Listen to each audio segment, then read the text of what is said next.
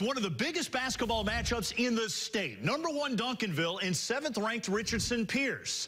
With two of the best ballers in the state squaring off. Duncanville's Jahmi'us Ramsey going against Pierce's do-it-all center Drew Timme. What a night. Cars were parked two miles deep down the road just to get a glimpse of this super showdown. So we decided to sit down the two hoops heroes just minutes before tip-off to find out about their friendship, the talent in the Metroplex, and what was about to go down on the hardwood.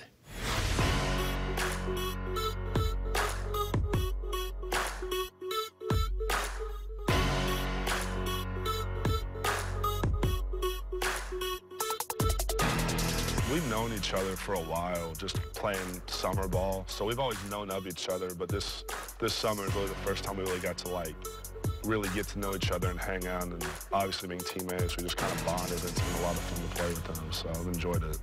Drew, I love playing with Drew. He's a give it to the guy on the inside and you can count it. So I'll, I'll never have a problem giving the ball to somebody who'll give me an assist. And hey, it's Drew. If y'all if y'all actually know him, he's actually really funny. So he's always have a good funny person around. I can count on Jahmi'us, you know, just go to the rim and get a bucket or an and one or hit a even step back three every now and then. but no, yeah, if you anytime the offense, you know, we get we struggle, we can't score, you can count on him to make something happen. Uh, that's funny you say that because I feel the exact opposite. There's nothing working on the perimeter. Call it punch five. That was our play. Man. Punch five. Go down, post up. Hey, it's going up right around the basket. It's going to go in, too. Friends and rivals. They've grown up in the Dallas area, shaping their game against some of the most highly touted players in the country. And it's not easy to survive and thrive in Texas.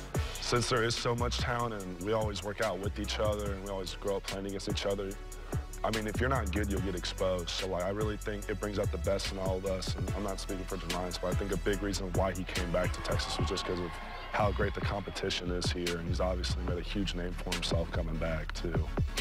Texas has a lot of talent, and it's been this way since we were sixth grade coming up. We all known each other.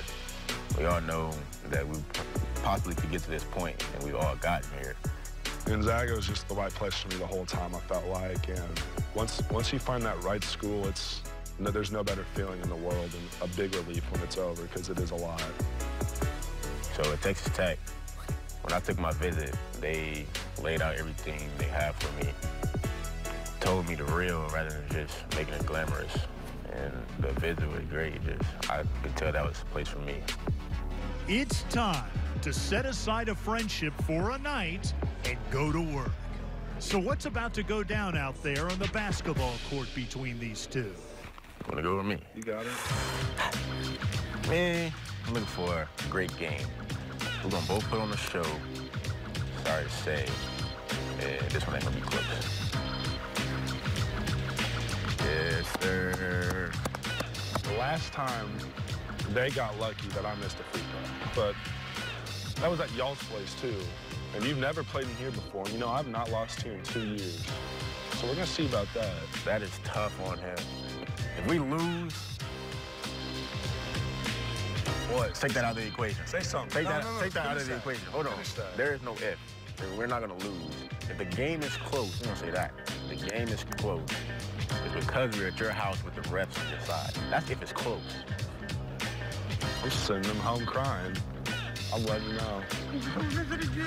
no, sir. I got the special headband tonight. Zoom in on this. Zag Nation, baby. Special headband tonight. Special headband tonight. There's no way. There's no way I'm letting that one slip. This one slip tonight. No way. We're gonna see.